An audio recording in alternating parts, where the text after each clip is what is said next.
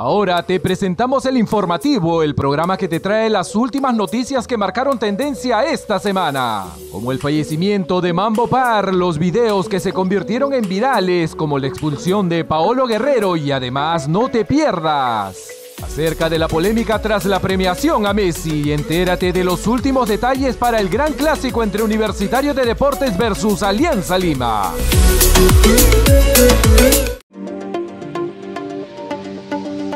Mientras todos celebraban la anotación del equipo inglés Southampton, uno de los espectadores esperó a tener la cámara activada de su celular para recién empezar a gritar por el gol.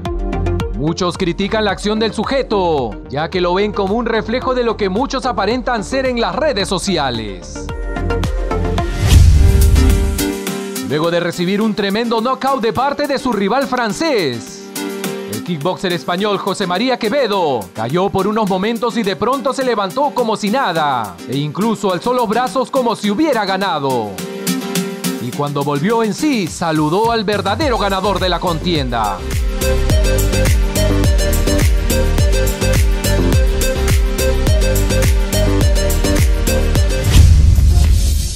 Paolo Guerrero no la pasó nada bien en el reciente partido de su equipo Inter de Porto Alegre contra Flamengo.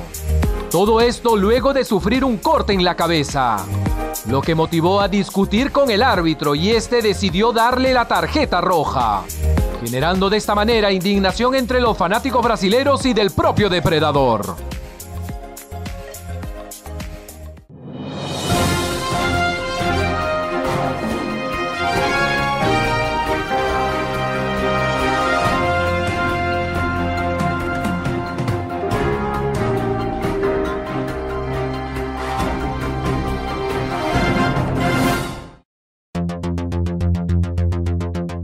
En el mundo deportivo las noticias nunca cesan. Nos encontramos en un momento crucial. El deporte internacional y nacional con el paso de los años han logrado implicarse aún más en la vida cotidiana de las personas. Además, encontrándonos en un contexto digital donde la tecnología predomina, las noticias en cuestión de minutos se convierten en tendencia a través de las redes sociales más populares. Por tal motivo, los sucesos tienen que ser cubiertos con toda la rapidez posible, pero sin dejar de lado la calidad del contenido presentado. El informativo tiene como fin darte a conocer las noticias más recientes de las diversas disciplinas que existen en el deporte para un mejor conocimiento de las mismas. Así pues, ahora veamos todas las novedades que han surgido en el transcurso de la semana.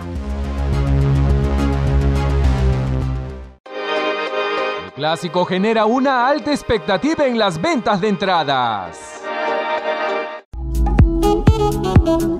Millonaria recaudación para el clásico entre Universitario versus Alianza.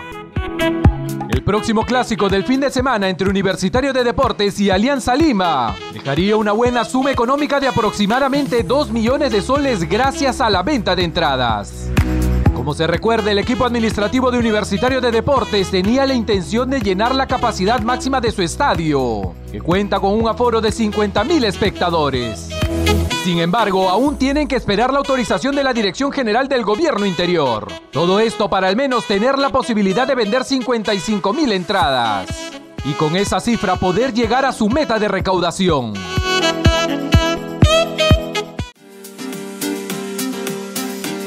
El equipo de tercera división uruguaya Boston River anunció a través de sus redes sociales el fallecimiento del futbolista Agustín Martínez.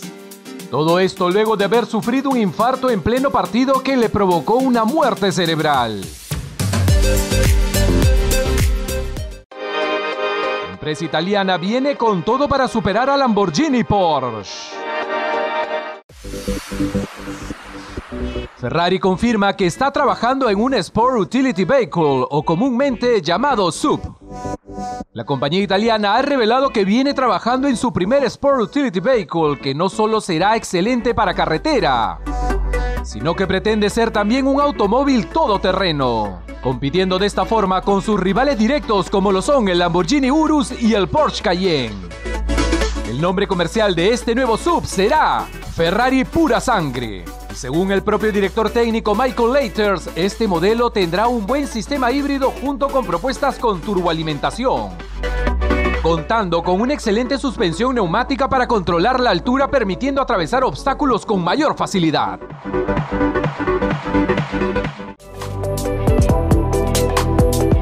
Varios personajes y entidades del deporte peruano, como la Federación Peruana de Fútbol, el Instituto Peruano del Deporte, Zenaida Uribe, entre otros, lamentaron el deceso del mítico entrenador de volei Mambo Par a los 83 años de edad.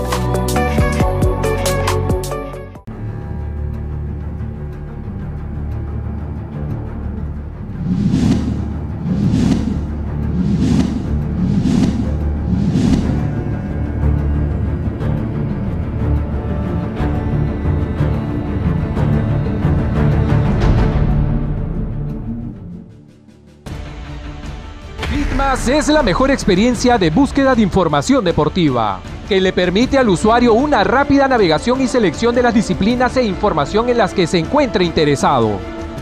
Somos el nexo entre los consumidores interesados en diversas disciplinas deportivas e información de interés nacional e internacional, especialistas, profesores, academias y productos ligados al mundo del deporte. Nuestro contenido permite ofrecer una vitrina comercial a las empresas o marcas ligadas al mundo deportivo que buscan generar alianzas con representantes destacados del deporte a través de patrocinios o capitales. Una vitrina comercial respaldada por las constantes interacciones de especialistas, deportistas, escuelas y consumidores vinculados al mundo deportivo. Interacciones motivadas por sus diferentes plataformas, tanto sociales como propias.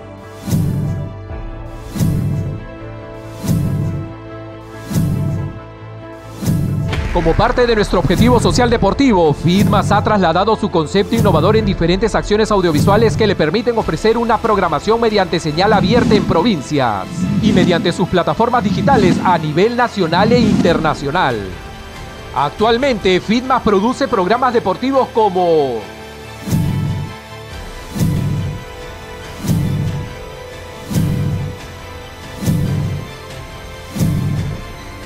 que le permiten tener una mayor cobertura informativa de disciplinas, desde las más promovidas a nivel nacional hasta las de poca difusión. Porque en Fitmas no solo somos un medio informativo, somos una multiplataforma deportiva.